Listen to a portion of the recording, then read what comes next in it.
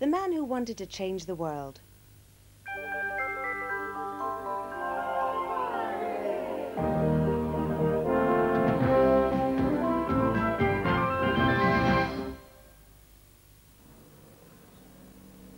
When Sandy Kidd goes out to the lock-up garage behind his house in Dundee, he is going into a world of his own. This place has been his prison for the past four years. Here, he has spent every minute building a machine. A very special machine, a machine which he says will open up the universe.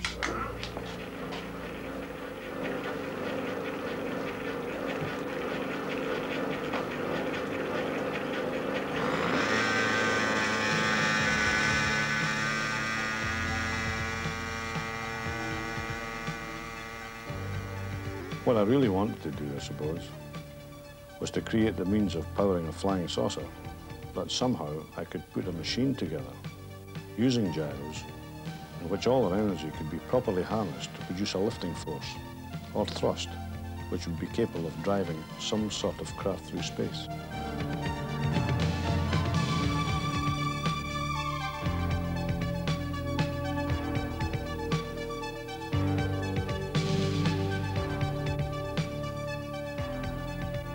Like most inventors, Sandy Kidd has paid a high price for his brainchild. It has cost him over £20,000 in lost wages alone. He has turned down better jobs. He has cut himself off from his family. Well, I got so carried away with the thing that uh, I just couldn't help myself. Looking back on it, I don't know how I really was able to subject my family to such sacrifice and hardship. When I was courting Sandy, uh, we used to go to the library when we, when we went out. My girlfriend and her boyfriend, they always went to the dancing, the pictures, but Sandy always ended up in the library. This is where we spent most of the time reading up books on science fiction. He just wasn't like a normal person. He never was. He has what it takes to make an inventor. Uh, the French word ingénieur, from which the word engineer is derived, means an ingenious one. And Sandy is ingenious. The ingenuity referred to by Professor Laithwaite is built into this machine. Sandy Kidd claims it is unique because it can move on its own, requiring no contact with air, water or solid surfaces, which brings us to flying saucers.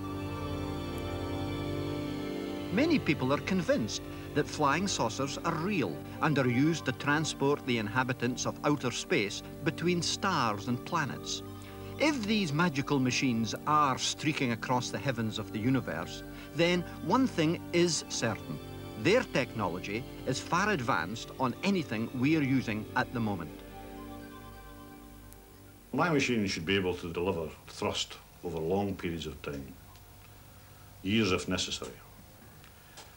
This would mean in space travel, very, very high speeds. The acceleration of the device could also be adjusted to create uh, an effect within the device that would simulate the conditions of gravity that are on Earth's surface. And this would completely eliminate the problem of weightlessness. Mind you, the device has other uses than taking you to uh, Mars in 34 hours. As it says in the patent papers, it is envisaged that the device has application on land, in or underwater, and in space, which means it can be used uh, to power submarines and ships. might even have the flying motor car. His obsession with this dream sustained him through the years of hardship and sacrifice which it took to turn his idea into reality. He became almost a stranger to his grandchildren, but his wife Janet had learned early on she would have to live with someone who had an inventive mind. He was always talking about uh, space things, science books, uh, Einstein, Asimov, all this type of thing. I wasn't really interested at that time. I've had to live with it so long that uh, it's just grown on me sort of thing. Having married a man obsessed with travel and space, Janet Kidd and her family found themselves seeing less and less of Sandy as he fell under the spell of gyroscopes.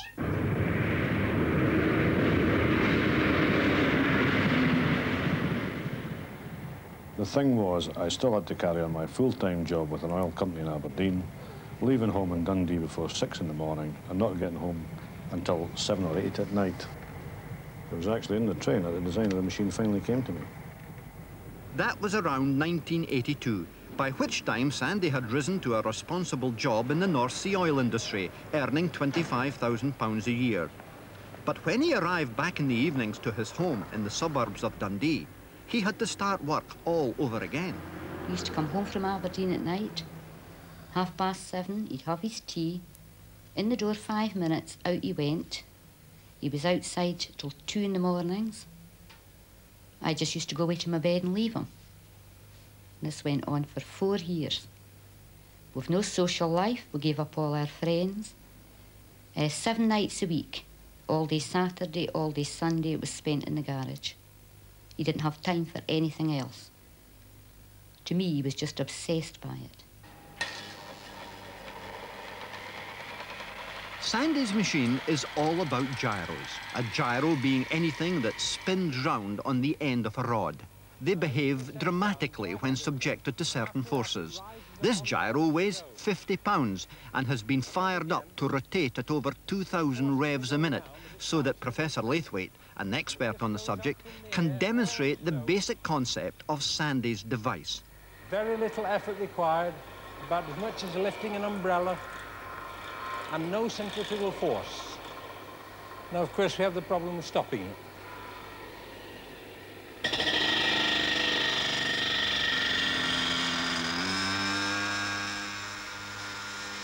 Professor Laithwaite studied Sandy's machine at the Imperial College of Science and Technology in London. Although known as an international authority on electrical engineering, the professor's know-how in gyroscopes has always led him to believe in the concept of a machine like this, a device based on gyroscopes which could produce a genuine lifting force. When he saw Sandy's invention create such an effect, congratulations were in order. That is fantastic. There can't be any doubt. I mean, there you go, there's a whole object that goes up. By whatever means, it goes up. Is he the first person to have done this? No. Others have done it and inevitably have modified their machines to try and make them better, stopped them from working, and they've never been able to recreate the original machine. I've had several like this. So how does Sandy Kidd stand then? Well, he didn't make the mistake of meddling with his first machine. He kept it. So that when he made a second machine that didn't work, he said, what's the difference between this and my first machine? It's only the first machine made better. Then he realised he'd lost some of the flexibility through the rather loose engineering of the first machine and was able to see what it was that was making it go.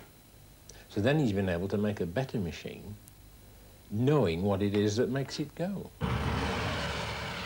It was while serving as an RAF technician on Vulcan bombers in the early 60s that Sandy first became aware of the frightening energy a gyro can store up during rotation. One day, he had to remove a gyro from the navigation system of the aircraft. I was walking backwards down a ladder, carrying it. Uh, unknown to me, it was still running in its box. And uh, the thing not much bigger than this. And as I reached the bottom of the ladder and turned round, the gyro reacted really violently and threw me on my back. I was really surprised at how much energy contained in a thing about this size. I'll never forget that experience. Ten years later, in 1974, when back in Civvy Street as a development engineer, he watched Professor Laithwaite demonstrate the powers of gyroscopes during a television lecture. What he saw that evening convinced him that somehow he could build a machine to harness a gyro's energy and put it to good use. In deciding on the basic design of the machine, I knew I had to somehow mount two gyros within a structure at a critical angle and by subjecting them to certain forces through rotation and movement, produce a lifting force through the action of the gyros.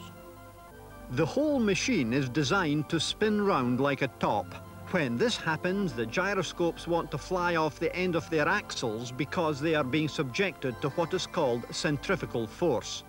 With the gyros themselves being driven at a very high speed in a certain direction, they react to the centrifugal force by swiveling upwards and taking the machine with them.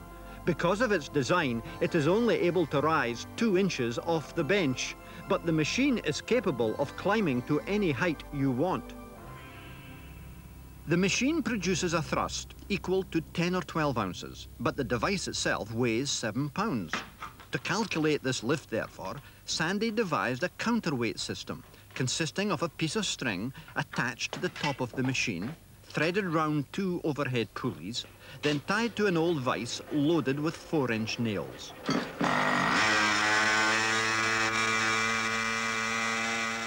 When the machine lifts, Sandy gradually removes nails until the device starts to drop. The lift achieved is equal to the weight of the nails taken away. Now this may all seem a bit crude, but such ingenuity is the stock and trade of the inventor. One of the most important aspects of tackling such a complex project was making all the bits and pieces necessary and juggling them around until I got everything right. Well, being a toolmaker, I could make everything myself, and that was a real bonus. I could set my own pace and get things done my way, building one machine after another, getting the size of the gyros right, mounting them at the right angles, determining the rotational speed of both the device and the gyros, so that the two interacted to create the effect I was after. Another of his many problems was deciding how he should drive his gyros. Finally, he chose a 6.5cc water-cooled model aeroplane engine and linked it up to the bottom of his machine. This engine can produce one and a quarter horsepower at 16,000 revs a minute, transmitting that power to the gyros by a belt and pulley system. The machine itself is rotated by being connected up to an electric drill. During my experiments, I burned out more electric motors than I cared to remember about. I was stealing motors out of any gadget I could put my hands on. Washing machines, lawnmowers and things like that. In doing all this, I was working with only a very basic grasp of mathematics and physics, which of course are very much involved in this type of engineering. In developing this machine, I've been plagued with setbacks, but having been a development engineer for years, I knew full well that you rarely get anything to work first time. It was very often a question of two steps forward and three steps back. At the weekend, I simply worked on the machine from morning till night. Towards the end, I dreaded having to go out to the garage.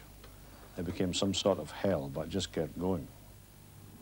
I wasn't happy about it because at the beginning I didn't believe him, but he persisted and carried on with it. And it was a failure so many times, and he promised to give it up, but he never did. He always gave it a couple of days, and out he went again. And this has gone on for months and months and months. I even got it in bed at night. He brought his books to bed, his papers to bed. He sat and drew pictures to me and tried to make me understand, but I never was able to understand it. I just had to live with it. Although the machine worked for all the right reasons, using all the factors I had built into it, the forces within the device were operating in a different pattern from what I had imagined. In other words, I had created a machine which I did not fully understand at that point, but which was producing the desired effect. It was in trying to establish how these forces and other influences were actually behaving that really created bigger problems than I'd encountered before. Most of the people that know Sandy believe in him. They know that he'll do it. He is quite a clever person, in my eyes. Well, I see a lot of things that don't mean I do try and help him as much as I can. Gardening, decoration, painting, every job about the house I have to do on my own. He just doesn't have time for any of that. He's too engrossed in his shed with his machine to do any of the things around the house. I've gone out and left him on his own. I've packed my bags quite a few times and been going to leave. But uh, always came back. During the cold winter months, it became a nightmare. All my family and social obligations went by the board, but the loneliness of working on my own and solitary confinement was the worst part of it all.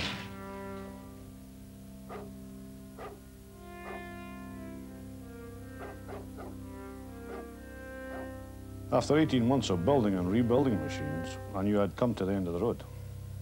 If it didn't work now, I knew I had nowhere else to turn. I'll never forget that night.